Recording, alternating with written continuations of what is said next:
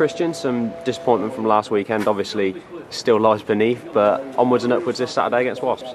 Yeah, sort of no time to linger on a, a defeat. We're, we're, certainly disappointed with Sunday, and uh, we'll try and learn from our mistakes in that game. But kick off again with the Premiership now, five games to go to secure a playoff place, and we're, we're looking forward to it.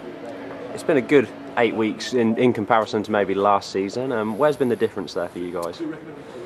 Bit of belief, maybe, bit of, bit of momentum kept. Um, I don't know, we got in a, a bad run of games last year and I think we dug ourselves a deeper and deeper hole, but we did come out of it with that, that big win against Leeds away, which I think kick-started the end of our season. So, you know, this year we need to make sure that we don't we don't dwell on Sunday too much and make sure we kick on kick on again with our uh, Premiership games.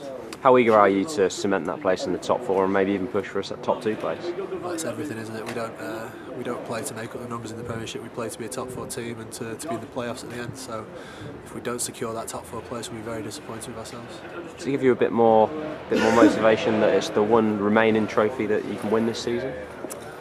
No, we want to win them all, but uh, certainly it certainly uh, makes our focus easy now. We know we've got Premiership games to win and a Premiership trophy to win if we do well, so that's what we're completely focused on. With these England boys coming back in, it's obviously a huge boost for the club. Is that something that you'll see you've seen off the field in the week leading up to this game? Yeah, I think the guys who are away are big personalities as well as big players sort of Lee Dickson's uh, all energy, Ben Foden, Chris Ashton. It's just it's good uh, level of banter in the club. It's good. They've all come back with a real positive attitude.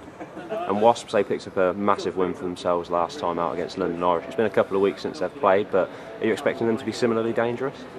Yeah, I would say any team that's in the sort of bottom two, three now are really looking over their shoulders.